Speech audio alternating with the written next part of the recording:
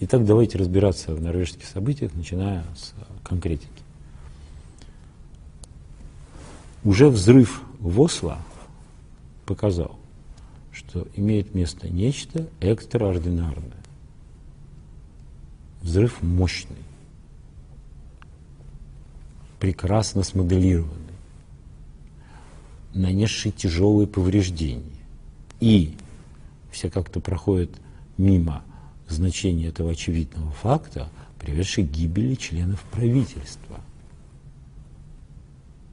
Когда в последний раз в Европе подобными способами так сказать, убивали членов правительства? Это безумно высокоэффективный взрыв. Это политический терроризм, достигший своей цели. Это не взрыв в дискотеке, это не взрыв там где-нибудь там в каком-нибудь супермаркете. Это взрыв в правительственном квартале, да, приведший к уничтожению членов правительства, как говорит премьер-министр. Ничего себе, взрыв. Столько больше или меньше людей. Ну, извините, а если бы он, так сказать, убил не очень много людей, но уничтожил бы весь кабинет министров, да, это что, так сказать, не является гиперэксцессом. Теперь наверняка не все из тех, кто слушает эту передачу и смотрит ее, а, были в Норвегии. Но я в Норвегии был. Это не просто тихая и спокойная страна. Это что-то такое застылое, сонное, лупящееся от благополучия, спокойствия и такого, вот, такого автоматического полусна. Вот люди как-то двигаются, они выполняют какие-то свои, так сказать, ну, действия, обеспечивающие жизнь в бытовом смысле, в производственном смысле и так далее. Но все делается как во сне, да, в таком ровно сонном настроении. Страна маленькая, с очень большим количеством природных ресурсов. Природные ресурсы распределены, и это очень важно подчеркнуть, достаточно справедливым образом. В этом смысле Норвегия – это страна с достаточно высокой степенью социальной защищенности. Да? Это такой оазис Северной Европы, место идиллии. И вот в этой идиллии, которая никогда, даже во время Второй мировой войны, не была, так сказать, ну, Норвегия, не Швеция даже, да, Швеция когда-то еще в эпоху Карла XII там, представляла из себя нечто, так сказать, агрессивное, стремящееся к каким-то там завоеваниям. Норвегия это вообще вот так вот заснувшее место, да, заснувшее, очень эффективно развивавшееся в второй половине и конце XX века, так сказать, вышедшее на достаточно высокие социальные и прочие рубежи, спокойное, хорошее. Для этого места, так сказать, убийства в целом 92 людей – а еще не вечер, потому что, дай бог, чтобы все тяжело пострадавшие, а, сказать, э, не умерли, но так обычно, когда говорят, что довольно много людей находится в крайне тяжелом положении, это значит, кто-то из них, скорее всего, повторяю, не дай бог, умрет. Так вот, такое количество людей, это не то же самое, что где-нибудь там в Индии, в Пакистане. Ну, то есть человеческая жизнь везде одинакова, она всегда везде одинаково ценна. И все, что я в дальнейшем буду говорить о произошедшем, вовсе не означает, что нет в душе возмущения, так сказать, предельного зверством совершенного, так сказать. Тут э, просто даже как-то стыдно тратить время на очевидные моральные оценки произошедшего. Это возмутительно, чудовищно, недопустимо и все прочее. Но для Норвегии это еще и экстраординарно такой гипервзрыв. Потому что все-таки уровень возмущения надо отсчитывать от фона.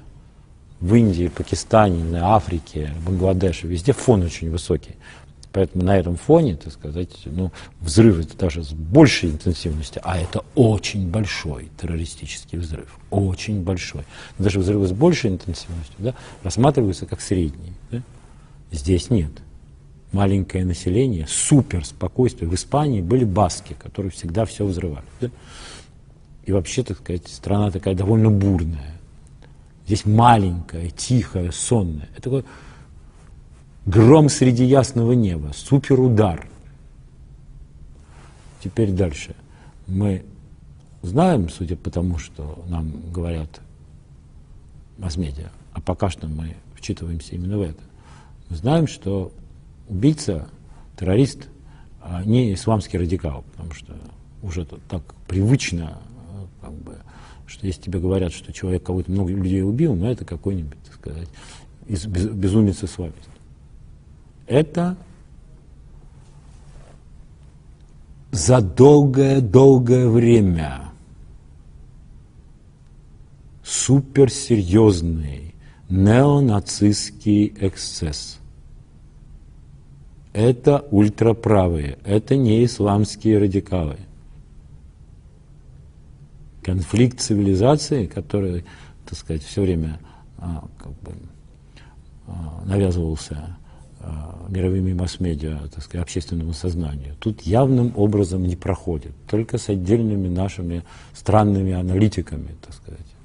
А, дело обстоит так, что увидя перед собой сказать, человека, который грезит викинг, викингами, арийца, неофашиста, это противника мультикультуральности, христианского ультраконсерватора и так далее, который это все совершил, они говорят, это, наверное, за.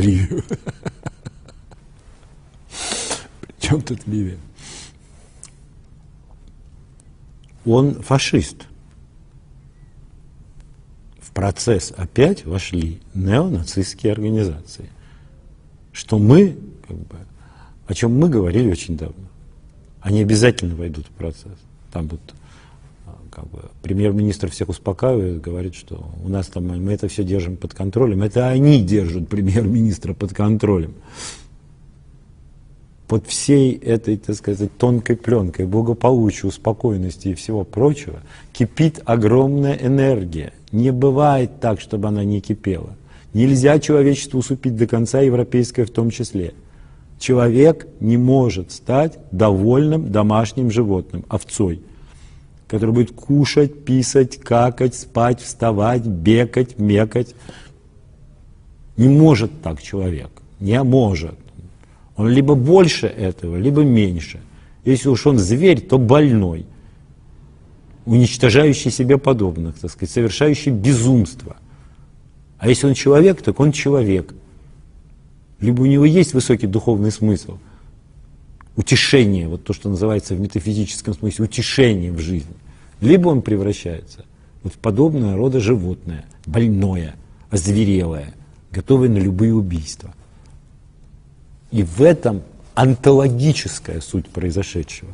Мы можем сколько угодно обсуждать детали. Был ли второй стрелок? Вот все говорят, что был второй стрелок, а одновременно с этим говорят, что, так сказать, а, это все безумец-одиночка. Можем, пусть э, подрывники скажут, можно ли из химических удобрений сделать столько подрывного взрывчатого вещества, и можно ли так разместить взрывное устройство, и можно ли нанести, э, будучи непрофессионалом, такое повреждение окружающим объектам и одним взрывом уничтожить несколько членов правительства. Мне это ясно. Я не первый год занимаюсь э, контртерроризмом вхожу в международные ассоциации по контртеррористической деятельности, что действовала группа, большая организованная группа, хорошо разветвленная. Но все будут говорить, что это одиночка, потому что так удобнее. Потому что тогда событию не надо придавать политического характера. Теперь, в чем политическое измерение, геополитическое измерение данного события? Оно в том, что благополучие Европы подходит к концу. Вот эта заснувшая шоколадная, так сказать, э, трясинка, так сказать, писаем, какаем, потребляем, э, спим, встаем, едим, э, как-то живем, развлекаемся, Бенни, Мэнни, Фенни, она подходит к концу. Ей нет места в мире. Это и большая политика, и философия говорят о том, что ей места в мире нет. Потому что все это, все это социальное благолепие с высоким уровнем жизни для трудящихся, между прочим, не таким высоким, как это принято говорить, но достаточно высоким уровнем жизни, успокоенностью и всем прочим, имело место только по одной причине, потому что был СССР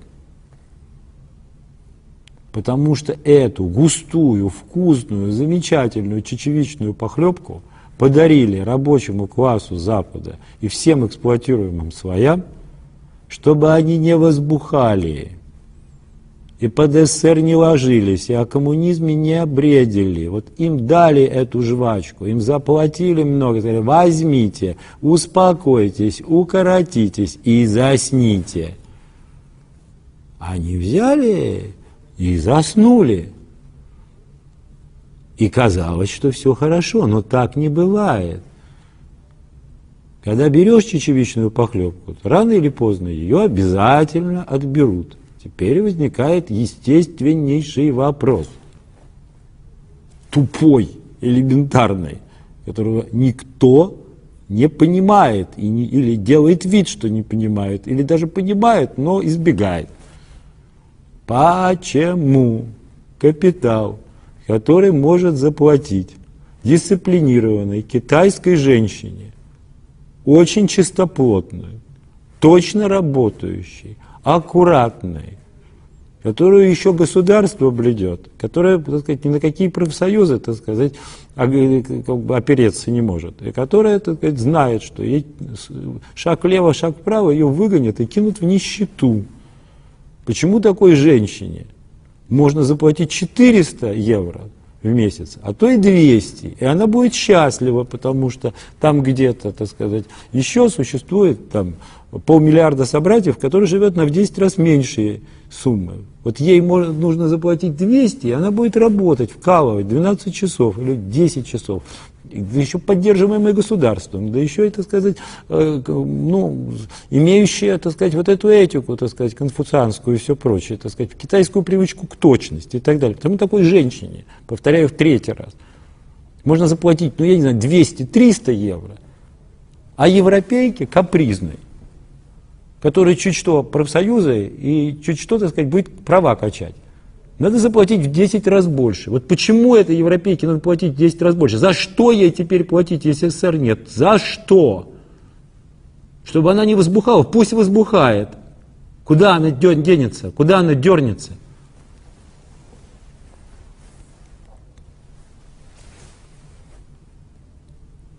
Но главное даже не в этом, что жадность как бы мучит жаба душит, а в том, что есть законы капитализма, которые никуда не денешь.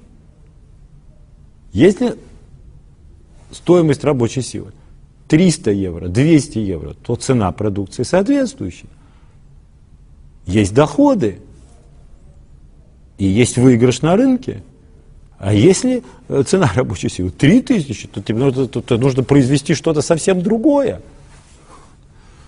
А ничего другого-то не производится, или с каждым годом производится все меньше. Да, есть какие-то очаги, где европейцы или американцы еще могут производить нечто, что китайцам недоступно. Но китайцы берут один барьер за другим, один барьер за другим, и их миллиард с лишним людей, больше никто для этого не нужен. Это мировая фабрика. Чем должна быть эта Европа? Почему надо кормить этих овец сегодня? Вчера их надо было кормить, чтобы они не бесились на коммунистический манер. Почему их надо кормить сегодня? И как их не кормить? Как их не кормить? Если они привыкли к тому, что их сытно кормят, и амбициозны, это же тупик. Это фундаментальный политэкономический и политический тупик. Что в Соединенных Штатах, что там Китай – покорно выполняет в основном то, что хотят Соединенные Штаты. Хотя на самом деле ведет себя, может быть, как последнее оставшееся на планете полноценное национальное государство. Но он очень гибок, он совсем соглашается, улыбается, кланяется. И берет новую позицию, и берет новую позицию, и берет новую позицию, и берет новую позицию. А там же никаких фундаментальных ответов нет – Стоит афроамериканец, пустой, как барабан, и бойко лепечет ничего не значащие слова. А окружают его люди, менее ретиво говорящие, но такие же мертвые, как он. А на Европу просто страшно посмотреть. А все входит в зону турбулентности. Дефолт будет или не будет? Я считаю, что они будут в итоге все печатать, никуда они не денутся. Но это же только значит, что еще через пару лет это долбанет втрое более мощно. то, что они делают, когда-то было описано у Жюль Верна, если мне не изменяет память, в «Детях капитана Гранта», в детской книжке. Там надо войти в гавань, а там очень много рифов и буря. Да? И матросов выставляют вперед с каким-то китовым жиром или чем-то еще, потом выливают в море, и море на одну минуту становится спокойнее, они проходят в эту гавань, и дальше волны еще бурнее. Они не китовым жиром, а деньгами, напечатанными пустыми бумагами залили мировой кризис. Но это значит, что волны снова начинают двигаться, но они его снова зальют, они будут еще мощнее двигаться. Энергия это никуда не, не исчезает, она все та же.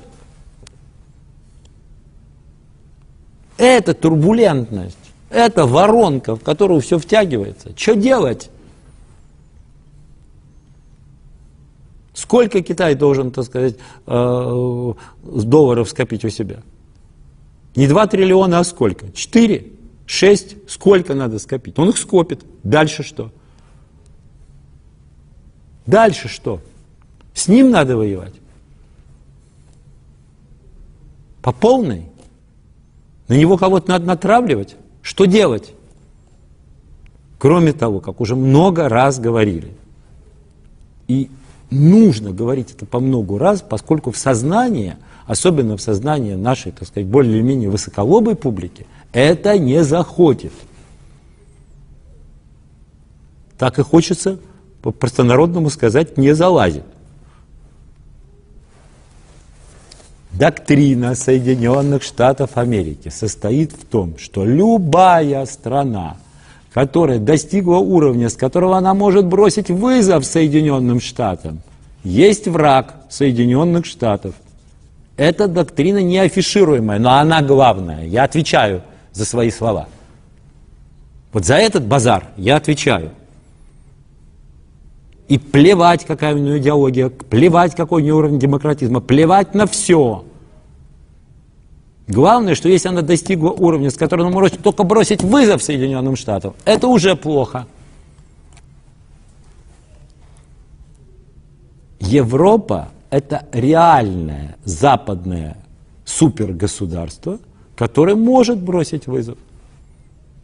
Может. Поэтому эту Европу надо довести до состояния ничтожества.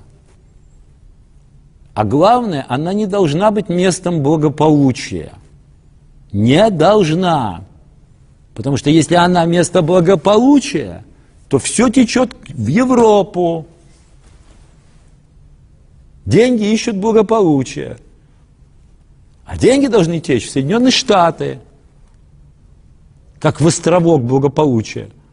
Если ты не можешь сделать свою страну более благополучной, чем другие, то сделать другие страны менее благополучными. Я не хочу сказать, что за спиной данного человека, там, как его зовут, Андрес Беринг Брейвик, да, стоят Соединенные спецслужбы Соединенных Штатов Америки. Это все не так просто. Я не хочу таких голословных заявлений. Я просто говорю о том, что в ближайшие 2-3 года у Соединенных Штатов не будет никаких альтернатив тому, чтобы капитулировать или начать играть мощнейшую стратегию напряженности, мощнейшую. Действующий, так сказать, фигурант к этому не готов. Он показал, что он вовсе не вегетарианец. В Ливии, так сказать, и вообще в арабском мире он все показал, на что он способен. Но это не то, что нужно для того, чтобы развернуть полномасштабный процесс. А что делать-то, как его не разворачивать? Ну, залили еще раз деньгами. Вот уже противоречие клановых интересов говорит о том, что кто-то не хочет уже заливать. Да? По крайней мере, как бы афроамериканцу претензии предъявляют, чтобы ему жизнь медом не казалась. Да? И является ли он афроамериканцем или кенийцем, является ли он или каким-нибудь там индонезийцем, и как бы можно ли ему столько денег напечатать. У него проблемы появляются большие. Он может, он ловкий человек, он, может быть, как-то их обойдет. Но дальше их будет появляться все больше. Но он-то свои проблемы решит, а проблемы Америки он решить не может. Это не тот уровень, не та личность, это не Рузвельт. Это стыдно даже говорить, стыдно сравнивать. У Рузвельта было какое-то отношение к Америке. Он ее любил, он что-то в ней ценил. Он был готов на какой-то подвиг во имя нее. Там только я. Я на первое, на второе и на десерт. Для Обамы есть Обама и только он. Ничего больше в мире не существует. Есть одна ценность. Он сам. Американский политический класс не знает, что ему делать. Он как очень жестокий, еще очень сильный и больной зверь, припертый к стенке. Он не знает, что ему делать. И есть еще проблема ресурсов. Норвегия – это место, где ресурсная проблема решается, как это не покажется странным, на первый взгляд, на манер сходный с тем, который ее решал Каддафи, проблему ресурсов. Норвегия, так сказать, достаточно прочно держится за ресурсы, как за источник общенародного благополучия. А это криминальная позиция для международных сил, которым нужно эти ресурсы захватить, а страны ограбить. И это касается отнюдь не только стран третьего мира, это касается всего мира, всех ресурсов. В этом смысле произошедшее говорит нам об очень и очень многом. Как в своих деталях, из которых вытекает, что это, конечно, организованная большая спецоперация, а не действия одиночки-безумца. Как в том, что касается смыслов простых всего этого дела. Нарушена стабильность Европы. В одной из точек, где стабильность была наиболее высока, как и в идеологическом плане. Это сделали неонацисты. Они так крупно на территории Европы не работали очень и очень давно. Восстановлены, видимо, не только все структуры холодной войны, как честно признаются нам ведущие деятели спецслужб Соединенных Штатов Америки и ведущие политики США. Восстановлены и все структуры, работающие в режиме стратегии напряженности. Дальше речь идет о политэкономическом смысле произошедшего. Нельзя держать более овец в таком сытом состоянии. Нельзя. Неэффективно, нет смысла и нет возможности. Нельзя, чтобы Европа бросала вызов Соединенным Штатам. Она не должна быть оазисом спокойствия, а значит, она станет оазисом беспокойствия. И это легко делается. Вот так, как это было сделано в Норвегии. Это ведь еще и обучающий пример. Делай, как я. Человек, который спокойно ждал, пока его возьмет полиция, написал 1200 страниц по поводу своих целей, всего. Он изготовился заранее. Он все продумал. Он абсолютно холоден. И он не один. То есть настолько не один, что дальше некуда.